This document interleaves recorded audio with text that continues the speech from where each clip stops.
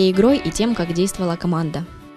Спарринг получился очень интересный, потому что действительно Пахтакор это команда с, с, большой, ну, с большим именем, как бы э, в свое время она гремела там на весь Союз, как говорится, ну, это время там мы не застали, но тренер нам донес, что это с большие традиции у этой команды, и там достаточно очень сборников своей страны, как бы, и мы проверили свои силы на, на фоне очень, очень квалифицированного соперника.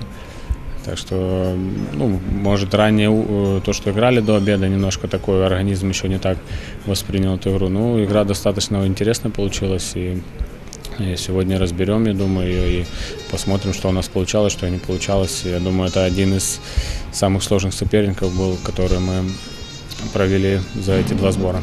Конечно, мы всегда более разбираем э, минуса, потому что надо прогрессировать и видеть, э, что у нас не получается, чтобы в дальнейших этих ошибок не повторялось. Насколько, на твой взгляд, команда готова к сезону? Две недели до начала чемпионата, время еще есть, и я думаю, что э, как раз через две недели мы пойдем, подойдем в супер максимальных кондициях. Так что сейчас в каком-то процентном соотношении говорить что-то я не вижу этого смысла. Тренера, тренерский штаб в этом лучше разбирается.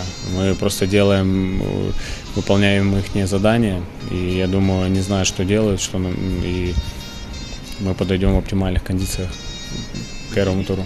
Можешь поделиться своими ощущениями о работе под руководством нового тренерского штаба? Первое впечатление кардинально все поменялось. Это изначально было столько много информации, что даже голова чуть не закипала, потому что действительно все э, разные тактики, разные схемы, и главный тренер требует играть не только ногами, но в первую очередь головой, ну не головой с мячом бить, а головой именно думать. И футбол, как бы, он говорит, что нужно как профессора быть. То есть в первую очередь это голова работает, а уже все остальное, если голова не понимает что-то, то уже придется ногам там впрягаться за это. И тренировочный процесс очень интересно построен. То есть как бы вроде бы кажется, что тяжелые нагрузки, но они переносятся достаточно нормально, потому что все что-то новое.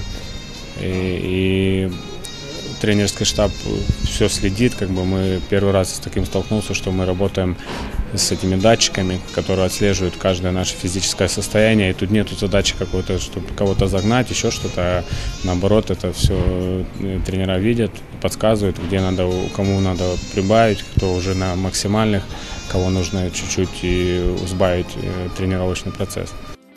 На вторых сборах стало легче, уже адаптировался организм к нагрузкам. Да, я бы не сказал бы. Тоже вроде бы адаптировался, но сильно легко не стало, потому что на фоне я не сказал, что свежести играли. То есть еще такая небольшая усталость как бы э, присутствует. Так что, ну, я думаю, это специально так сделано, чтобы уже к, к чемпионату подойти в очень хороших кондициях на свежести уже играть. А тут, наоборот, проверить себя на фоне нагрузок, на фоне какой-то усталости. Уже немножко полегче, немножко полегче, но Э, я не ездил домой, в плане психологии чуть-чуть тяжковато. Э, конечно, уже хотелось бы встретиться со своей женой, с родными. Очень скучаю.